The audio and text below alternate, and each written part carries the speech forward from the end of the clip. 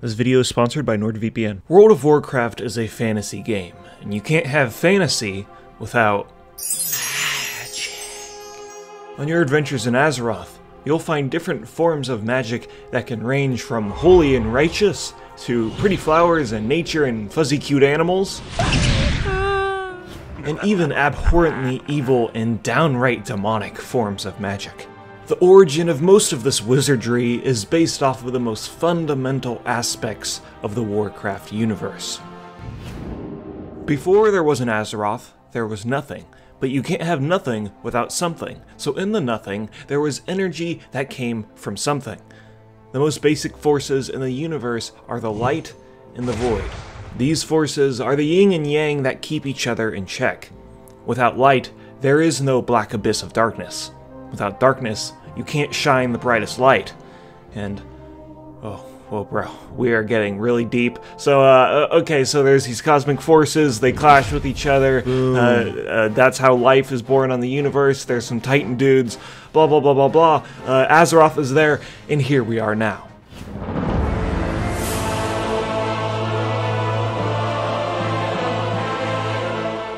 These cosmic powers can be tapped into the form of holy or shadow magic. First, let's talk about holy. Imagine if the Pope actually had superpowers and he could use the Force. That is what holy magic is, for the humans at least. In order to call upon the light to aid you, it requires your complete willpower to harness this mysterious force and faith that what you are doing is completely morally right. If you aren't completely faithful to the light and don't have the required positive vibes, you'll fail the vibe check and the light will not aid you. The Church of the Holy Light is founded on three virtues to make sure that you have these positive vibes respect, and noticing your place in the universe and strive to fight for its well being, the tenacity to fight in the name of the light, and realizing that even the smallest actions can change the world for the better. And finally, a balance of compassion and consideration if your aid will transfer to a positive change in the universe. Sounds fine. Following all these rules will allow a member of the church to manifest a world of honor and justice. Now keep in mind, light magic's morality is based on the person that is wielding it. A perfect example of the light being used in a harmful way is the Scarlet Crusade, who think the outside world is full of unclean heretics, tainted by the evil stench of. Hey! Hey, hey, I'm uh, focus here. We're talking about critical aspects of the lore. Of course, the outside world isn't full of plague-infested monsters, but the Scarlet Crusade illustrates how faith can turn into devout fanaticism that makes them close-minded lunatics. Other races on Azeroth have also accessed the powers of the light through different cultural means. Sunwalkers worship the sun An'she, which manifests into using more sun-based light attacks. You also have the Draenei, who have direct communication with the Naaru, who are pure manifestations of light. Hell, you even have the Lightforged Draenei, who are basically super soldiers who have let their bodies become a vessel to dispense light's justice. And there's even the Blood Elves who enslaved a Naaru and sucked out its life juice. what? Elves being dicks? Whoa, yeah, no, totally haven't heard that one before. But what if, no matter how much faith you had, the light still abandoned you? For the Forsaken, this is the harsh reality they must deal with. Priests suffering from undeath can still call upon the light and it can still heal them, but it is just excruciatingly painful.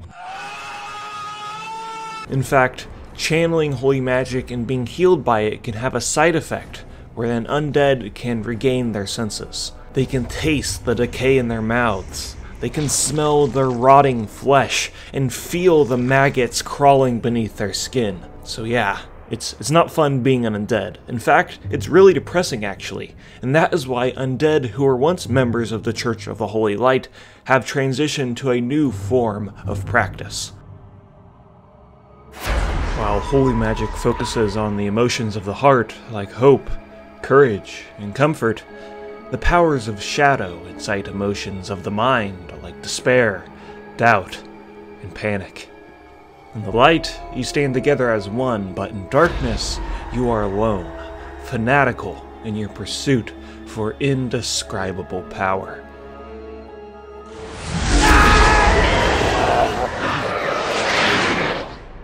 Shadow priests play off this characteristic of the corruptive influence of the mind. Harnessing the powers of the void involves riding the fine line between immense power and utter insanity as your mind falls victim to the old gods. Within the Forsaken, the cult of Forgotten Shadow is where many summoners of the shadows lie, but users of the void are in old god cults like the Twilight Hammer or even the Black Empire. And speaking of evil corruptions,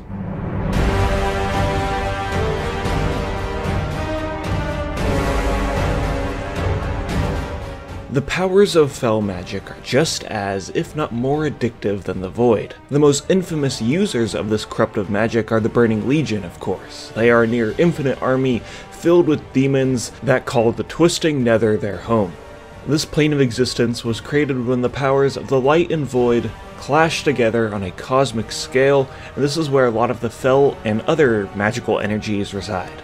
Every demon you find in the Warcraft universe was once uncorrupted, but under the command of the Legion, they've been tainted and twisted.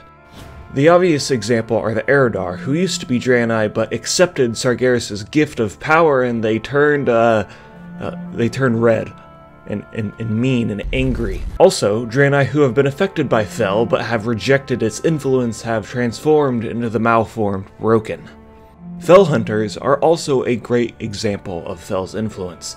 This is what they look like now, but this is what they used to look like. These demons can also be summoned by practitioners of Fell, but in order to summon one, a soul is needed.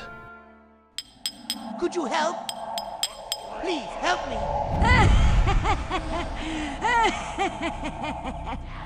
Now, warlocks are not inherently evil per se, but when your class revolves around sucking the life force out of innocence, harnessing chaotic and corrupting magic, and being shunned by most of society, it's kind of hard not to be the bad guy. Using Fel is sort of a get-rich-quick style of spellcasting. It takes time to learn, but you can get a pretty high power level relatively quickly compared to practicing other forms of magic. But the side effects of being a warlock include slowly turning into a demon, having everybody hate you, the sudden urge to burn down orphanages, vomiting, and also having the need to help your friends by summoning them and giving them cookies, so they aren't that evil. Hooray! While Fel represents chaos, its counterpart is arcane magic, a form of magic that requires order and knowledge.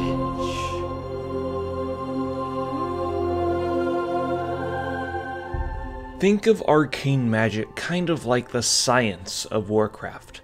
In order to hone such magic, it requires years and years of study in places like Dalaran, Stormwind's Mage Quarter, or Azsuna, or really any other school.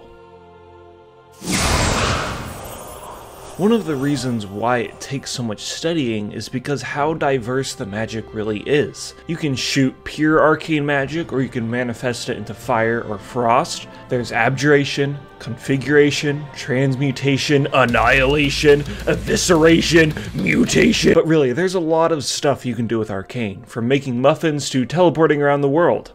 And by the way, um, According to this book in the game, apparently it is possible for inexperienced mages to blink into walls, furniture, or even other people, and uh, they suffocate and they die, which is horrifying.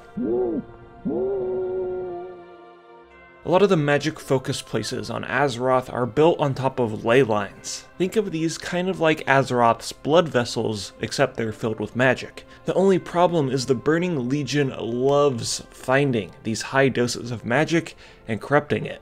So users of Arcane need to find a way to mask the high arcane dense locations. They can do this by setting up runestones around their city, you could make your city float in the sky, but those are not foolproof ways to make sure that you are protected. Oh no no. The mages have kept something powerful locked beneath Dalaran to protect them. And that's NordVPN, the sponsor of today's video. What if I told you the Burning Legion is real and are cyber hackers trying to steal your information? With NordVPN, you can mask your IP address and be anywhere in the world, like the UK, Spain, Africa, Stormwind, Orgrimmar, Okay, well, maybe not those last two, but anywhere else in the world and enjoy the internet stress free, knowing that you are safe. Not only do you get the best cybersecurity on the market, but you can have up to six connections, and it also unlocks region locked websites like Netflix. And if you don't like it, there's a 30 day money back guarantee. But don't take my word for it. Hear what one of the most prestigious mages of Dalaran has to say about NordVPN.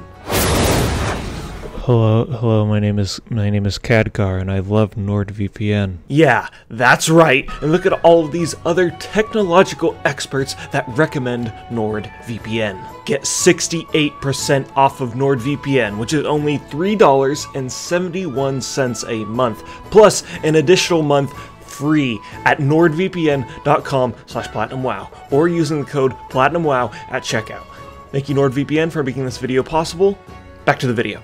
The ad is now over. But really, some mages of Dalaran like Kel'Thuzad are frustrated with the whole concept of morality getting in the way of their studies.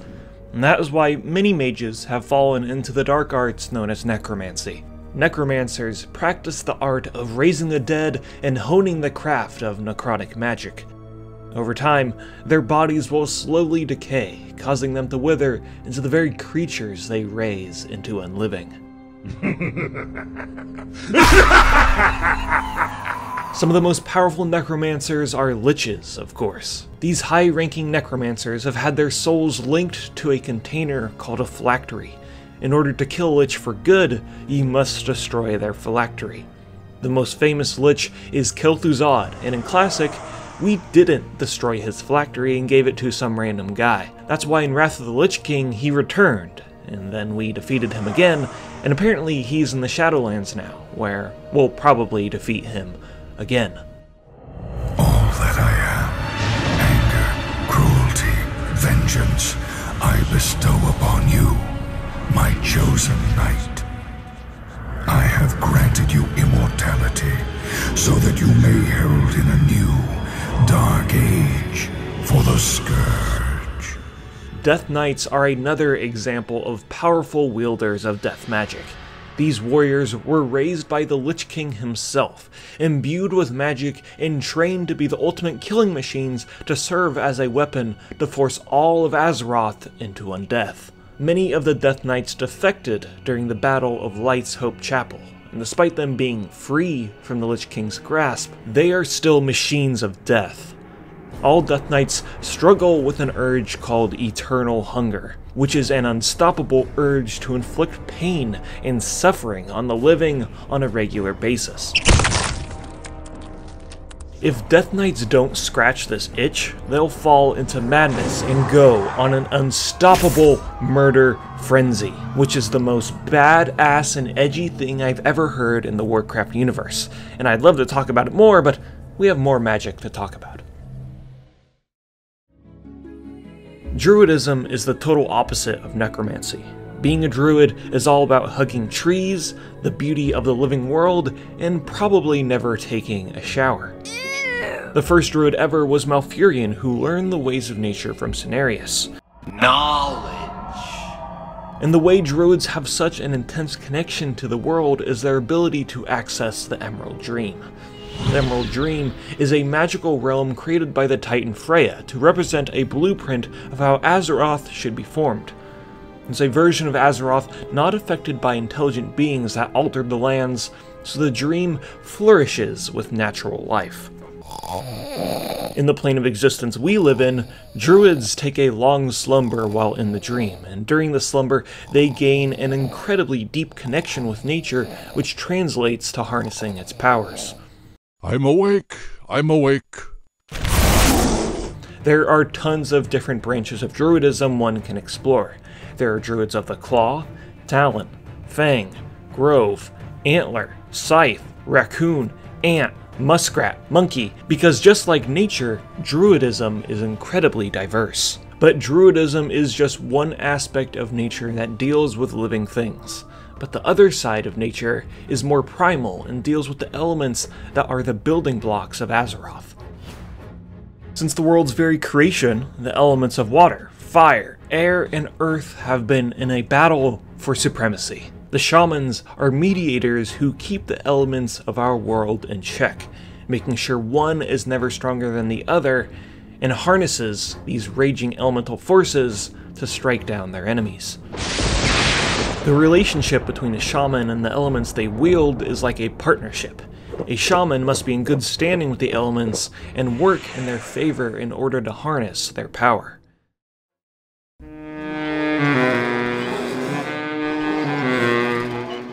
And then there are goblins. This is one of the most goofiest race and class combos in the game. Goblins are greedy little monsters all about making as much money as possible with the smallest amount of effort. They don't really care about the world. At all. The Elements are business partners who have been convinced to sign a contract which seems reasonable, but in the fine print, it states that the goblins can harness the powers of the elements for their own personal gain. I feel like this is kind of a bit of a stretch to make this connection, but uh, uh at the end of the day, who cares? At this point, WoW class and race restrictions are kind of just arbitrary lines in the sand. And that is all the magic we'll be talking about today. There are other subcategories, but maybe we can talk about those in another video. So yeah, I'll see you guys later. Magic away! Gaze into my eyes and witness your doom!